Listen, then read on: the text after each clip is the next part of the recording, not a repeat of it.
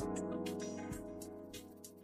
Welcome to the Golden State Media Concepts Sex Podcast, a show that examines all aspects of sexuality, from physical to emotional to spiritual. Join our hosts as they discuss age old questions, common misconceptions, and the latest topics surrounding sex. They'll tackle topics about sexuality from the complicated to the hilarious and everything in between.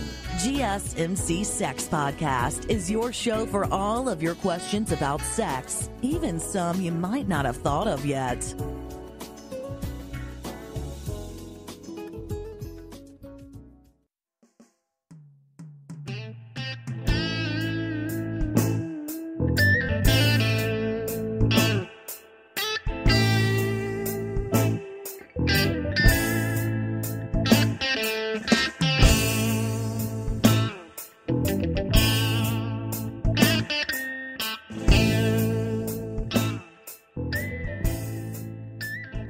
Hello and welcome to Golden State Media Concepts Relationships Podcast. I'm your host, John Johnson, and uh, just so that you know, this is the sex edition. I have another podcast that basically uh, covers relationships, and then, you know, sex gets sprinkled in there because it's definitely a part of a relationship. But this one, I talk about sex specifically. And I do it in a way that I think most ears can hear it. If you don't understand it, that's one thing, but I won't be spouting any profanity or anything like that because that's just not my style. Because I can talk about this to uh, to uh, yeah, at great length. But I'm going to launch into this particular topic of pity sex. That is, and when I think of it, and in the conversations that I've had with people about pity sex, that is the sex that you get because your partner feels pity for you meaning ah they're just going to give in. They're just going to give it to you to shut you up. And as a guy i know how guys can complain about things. They can complain about not getting enough and a lot of guys do.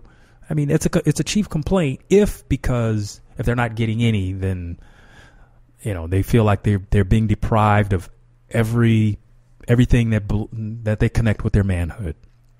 Now why would they be denied sex? It could be a lot of reasons they could be a terrible lover and their partner is just putting up with them because they are in a relationship so so to speak.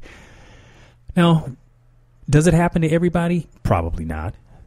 You have a lot of couples out there that that really don't engage in any sexual activity. I mean they they are still together but they just don't engage in sex. So would they understand this topic? Probably in an intellectual way. But in terms of whatever type of intimacy that they exchange, and it's probably hugging and kissing, but you know nothing too terribly intimate beyond that. But there is no shame there because people work out their agreements inside their relationship, and that's that's what happens. But back to the topic of pity sex, and in the people that I've asked, and I've asked a number of people about this. I mean, I didn't didn't create this focus group, but you know, I kind of have a number of individuals that I speak to because they know about the podcast. So they want to ask me, well, what's going on? What's your next topic? And I said, well, this is it. And the topic of pity sex was interesting. Now, of the women that I spoke to, their their take on it was, yeah, they they experience it, and and and so my question was, well, what are the circumstances in what it, in which it happened? And the the things that kind of came up the most were the guy who complained, or put in a request and he felt like he was really in need. He just wanted to make love to his partner and she just sort of gave in, even though she didn't really feel like it. So she didn't do a lot. Or they, in each one of the cases. I mean, it, was sort of universal. Women tend to have this understanding about how they operate in this, this zone.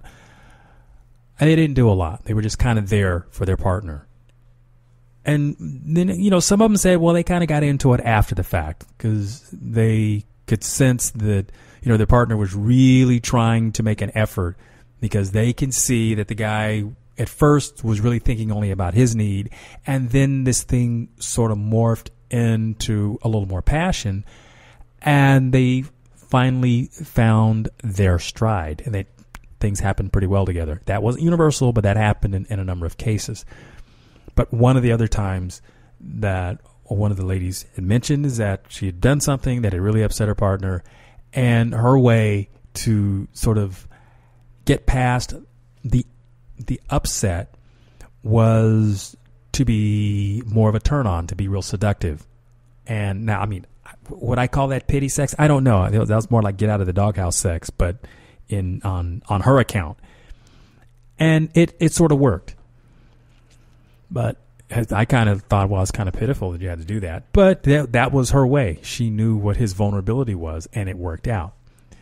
And another example of pity sex, you know, I mentioned that the guys that complain that they don't get enough, but it could also be that you know your partner feels sorry for you.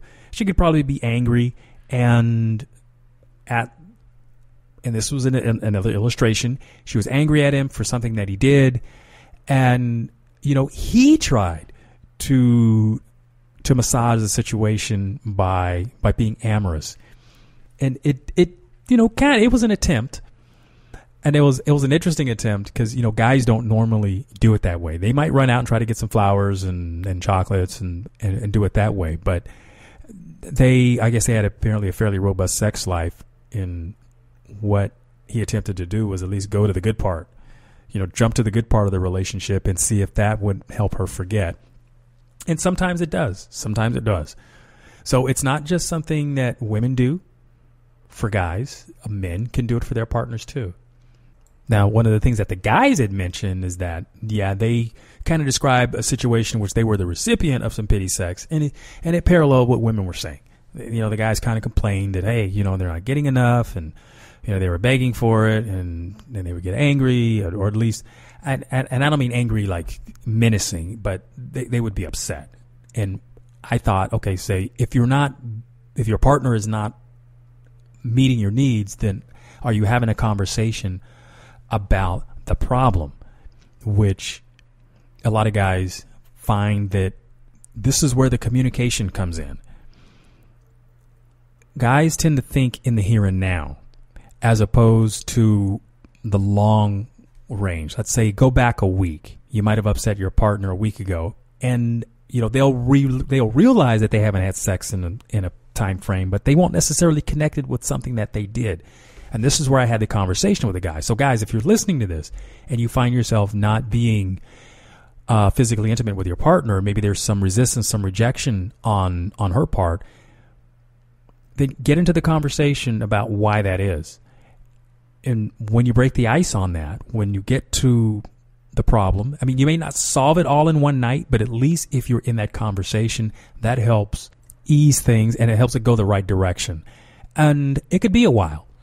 I've you know sometimes these things can turn around in in minutes, hours, minutes, moments, whatever the the time frame. Because some people respond fairly quickly, and others, if the problem is kind of deep seated and you haven't been talking about it, you you just can't sweep it under the rug. And and I say that to both partners. And I'm kind of directing it to guys because in, in the people that I had spoken to, you know, the guys were talking about receiving the pity sex and then wanting to understand, you know, what she could have been mad about. And I says, well, did you ask? and they had some sort of ruminations about, yeah, yeah, I kind of know. I says, well, did you make up for it? You know, was it something that you could have done better? Was it something that you forgot? Did you forget a birthday? Did you make a promise and not keep it? You know, anything on that scale? Because if if this is a habit and she keeps giving in to you, but but you don't keep your word, then this is definitely something that's heading towards a cliff and you're going to have a, a, major upset at some point in time. You don't want to keep sweeping things like that under the rug. And I know it calls people to be have a little more integrity with their word, and that could be hard, especially with people who are pleasers. Because one of the situations, and, this guy, he he tends to be a pleaser. He makes big promises. He wants to do things, but he doesn't necessarily have uh, the, the time in the day to be able to do everything he says. I think sometimes he just really tries to come off as being more of a know-it-all. But what he should more what he should be more focused on is making less promises and keeping his word. Because trying to be a hero for someone and then not coming through um, is a recipe for disaster, especially when you promise five things but only do one. I think what has happened is that they've been in a relationship quite a while and he winds up getting overwhelmed or getting in over his head. But it makes him look bad. And then when it comes to him wanting his needs met in the relationship, either emotionally from support because he you know wants pats on the back for things that he accomplishes, but then doesn't forget that he's broken several other promises. And these are the kinds of things that become relationship upsets. And if you're one of those kind of guys that does that, or a gal, uh, you know, you can have a same sex relationship. If you're one of those kinds of individuals, well, that's going to break down the communication. And I have found more often than not, when there's a breakdown in communication, it affects the sex. Now, so that there's no breakdown in our communication, you're going to listen to a couple of messages, and I'll be right back. Stay tuned.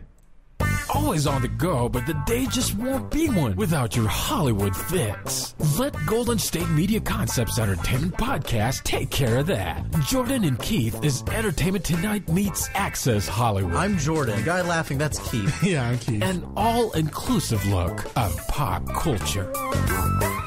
Do you want to be healthier, yet you just don't know what to do? All these shows telling you this and that, but nothing seems to work.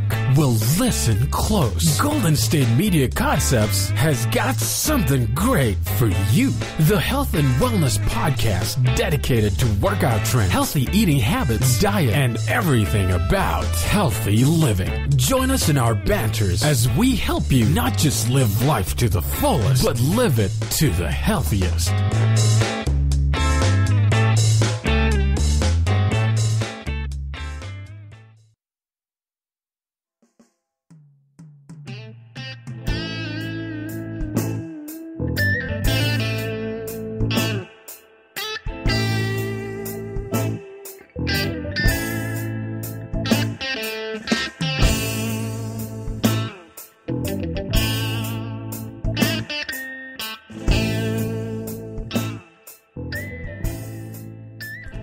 There. Welcome back to Golden State Media Concepts Relationships Podcast, the Sex Edition. I'm your host, John Johnson. And I'm going to talk about this subject here HPV, the human papillomavirus.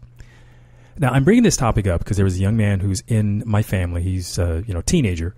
And one of the things that I was interested to learn is that whereas they give young ladies the an inoculation for HPV, and that's to help prevent um, uh, cancers later on in life, they give young men the same inoculation, and they can get that to help them help prevent them from getting the HPV, which would be the herpes virus and things like that. I, in which I was fascinated to learn that. Now, obviously, they didn't have something like that available for me when I was a lot younger, but it's interesting to note that because many people, and they say about 70% of the population actually has the herpes virus in some form.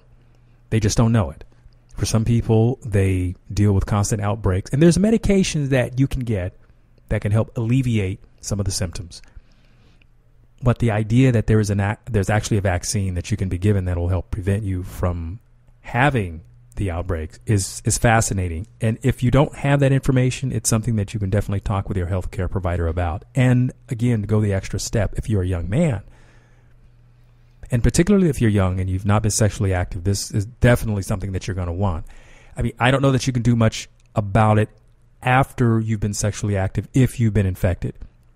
That's something you'll have to talk to a healthcare professional about. But I'm uh, haven't had a chance to research it to that degree, and I would love to talk to somebody about that. And I will I will do that and try to follow up with that information on another episode. But it is the idea that number one, the herpes virus many, many, many, many people have. And there, so the conversation would be okay, how do we protect ourselves from it? And safe sex, not having sex when you're having an outbreak, and safe sex meaning men wearing condoms,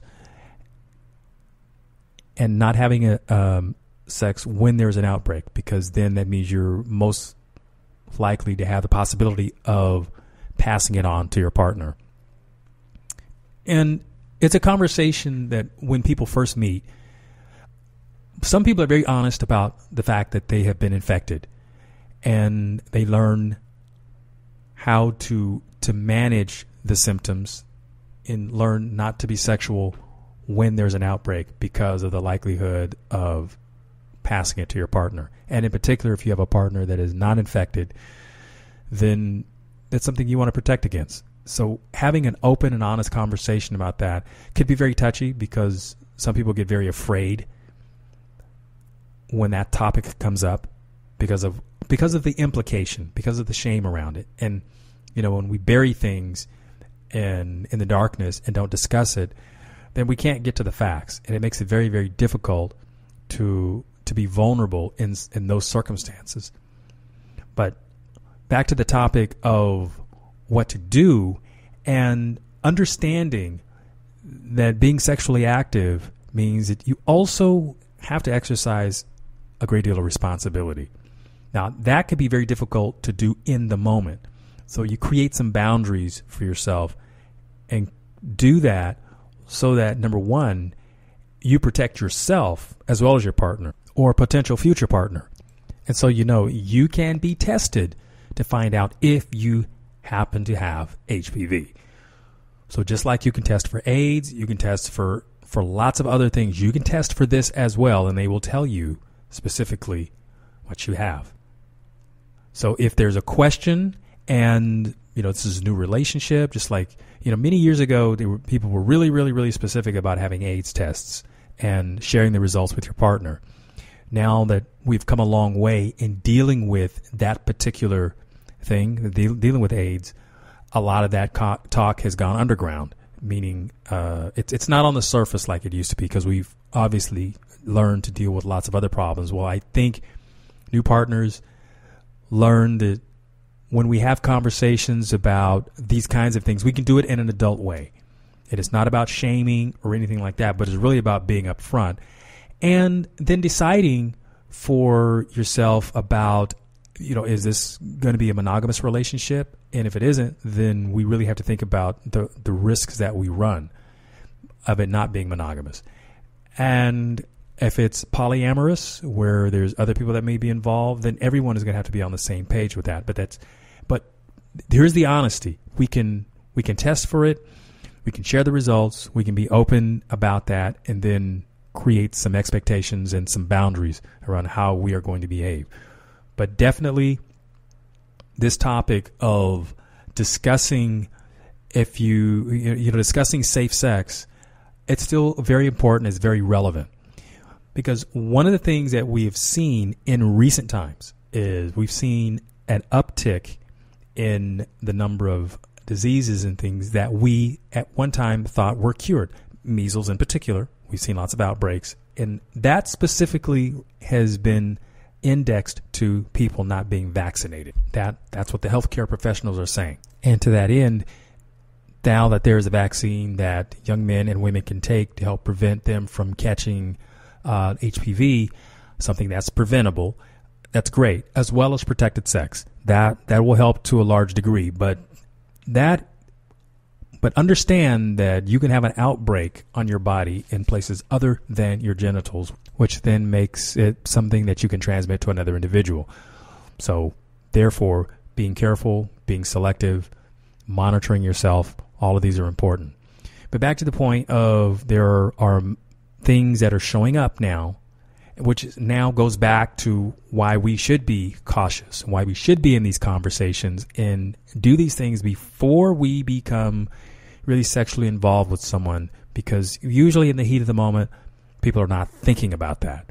The mind just totally wants to shut all of that stuff off and be passionate and enjoy the moment. So I, I, would imagine that if you're listening to this podcast, you have some sort of electronic media where you can do a little bit of your own research so that you can educate yourself as to what things like syphilis and chlamydia and gonorrhea and and herpes virus looks like so that if you happen upon these things, then you know that there's a course of action that you can take. You can go see a healthcare professional. They will take care of you. They respect your privacy. They respect your dignity. It is not about shaming people. It is about getting you treated. And I think what happens to us is we tend to feel like, oops, I should have known better. And we probably should have, but we're not going to go there and shame you. We want to get you help, get you treated. Because if you continue to ignore symptoms, especially those that, and let's say you actually have it, you know, you may think you have it and you're worried. You can allay your concerns by getting tested. And sure, there's probably going to be a huge sigh of relief when you realize that you are not infected. But if you are, then you need to get treated. The sooner, the better. Because there are a lot of consequences for those who don't. Again, you can read up about it. I won't take up a lot of your time explaining those things, but you can read up about it. There's tons and tons and tons of information out there. Look, I'm looking at my clock. I have to take a commercial break here, but I'm going to come back later and I will wrap up this particular episode.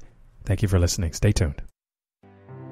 The GSMC Life and Happiness podcast takes you on a journey of exploration. We'll discuss tried and true methods alongside the latest trends of how to best live your life to its fullest and happiest. From psychology to meditation, science to self help books, the GSMC Life and Happiness podcast will help you to discover what makes you happy and how you can live life being the best you possible. Download the GSMC Life and Happiness podcast on iTunes, Stitcher, SoundCloud, Google Play, or anywhere you find podcasts. Just type GSMC in the search bar.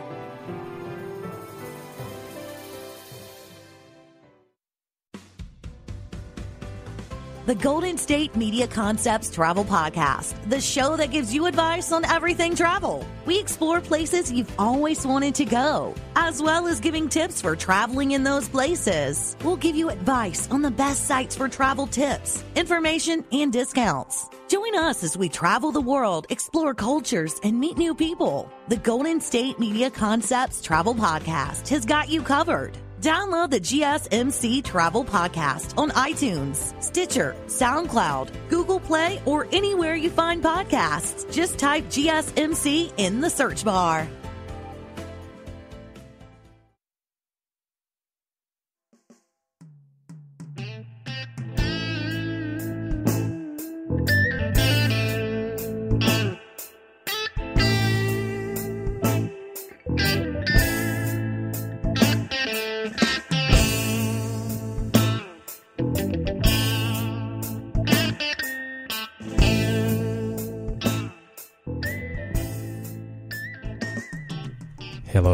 Back to Golden State Media Concepts Relationships Podcast, the Sex Edition. And that last segment, I talked about getting tested and getting the results so that you could at least know with some degree of certainty where you stand.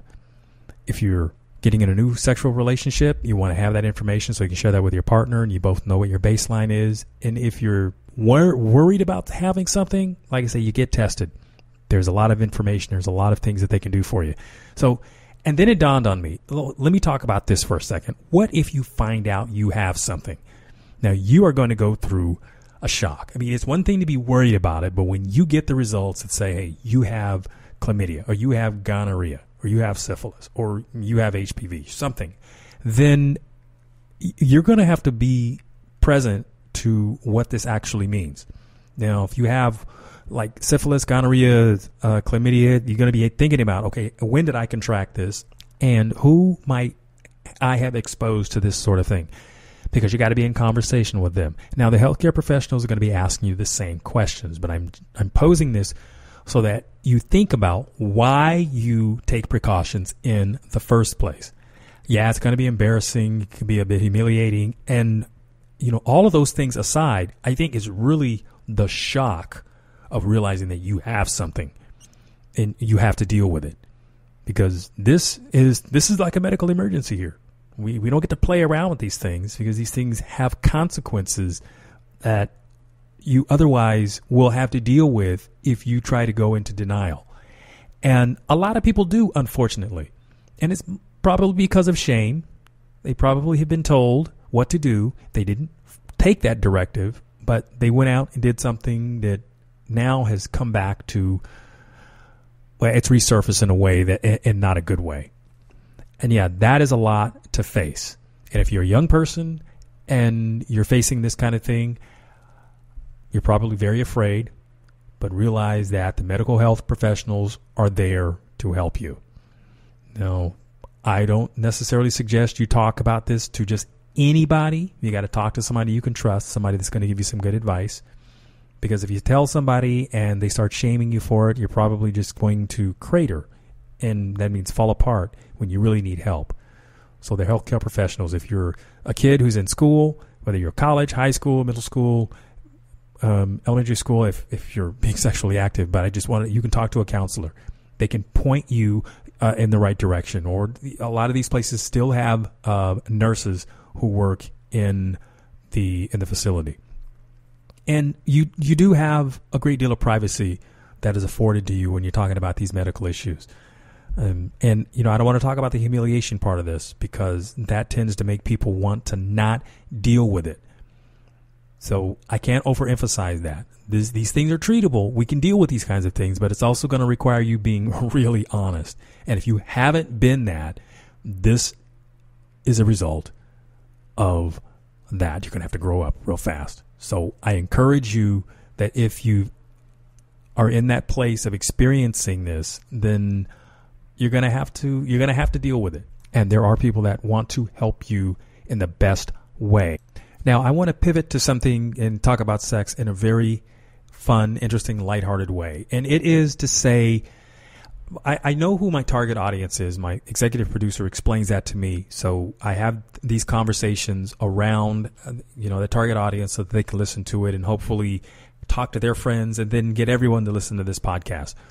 But here's something that I want to share with the women who listen to the podcast. And it is this women who are, say, in their late 20s, early 30s, you know, women who would be in childbearing age and obviously they can enjoy sex as much as the next person can. And I hope you are. If you are having issues with enjoying sex and it's a medical issue, it's a mo- an emotional issue, there are counselors there, there are doctors there. They will, they can talk about this to no end and they do want to help you. But to those people, to those men and or women who wonder about sex as they get older, what that's going to be like, well, let me give you an illustration of someone that I've talked to personally. And throughout her marriage, she was married a number of years. The sex itself was, you know, in the beginning of the marriage, it was great. It was spontaneous. It's what they enjoyed. They both. They had kids. And then as the relationship wore on, and I can tell you that the sex part when the relationship's not going well, a lot of times it will affect the sex because it's the emotional chemistry supports having a really good physical relationship. And it this is how it reflected in the, these uh, this particular couple that I'm that I'm discussing. Well, that relation that marriage ended after a number of years, and not not because of the sex. That was merely a symptom of things going bad. But this lady that I'm talking about had finally resigned herself to probably never really enjoying sex again, at least to the extent that she had imagined it would be and everything that she had read about it. Well, she is, I would, she's in her early 60s. And she explained that she has a partner now that has made her feel alive again. And her libido is off the charts. And she explained, ex- specifically that her partner, the man, has really made her feel special. And she was happy to experience the fact that being an older woman, and, and I do, do that in quotes because I don't mean old as in OLD, an old person, but older in her years of experiencing life. A lot of people expected that their sex does not get any better, but she is a living example of that it does get better. And lots of women report the same kind of thing. She has been in conversation with them. And she's excited about that. So if you wonder about your your sex life as you get older, what happens to it? Because there are women that have decreased desire. Um, and there are medical reasons as to why they don't perform sex the way they did. It could be vaginal dryness. Um, it, there could be some just some beliefs about that after you reach a certain age that you don't have sex anymore. I encourage you to challenge those beliefs and if there's a little bit of you that wants to be physically intimate with your partner, then try it out. And if there's a medical thing that you are facing, a lot of women don't realize that you can go to your doctor and if it's a hormonal issue, they can test you for that. If there's lubrication that you need so that it's not so painful. They can test you for that. or, or, or excuse me, prescribe something for that. But there are answers to these. And sex can be enjoyable well into your 70s and and beyond.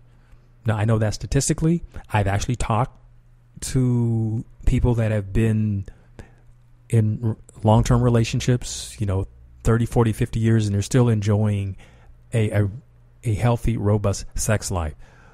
So it's out there. And avail yourself of it the best that you can. I'm John Johnson. This is the Golden State Media Concepts Relationships Podcast. Thank you for listening.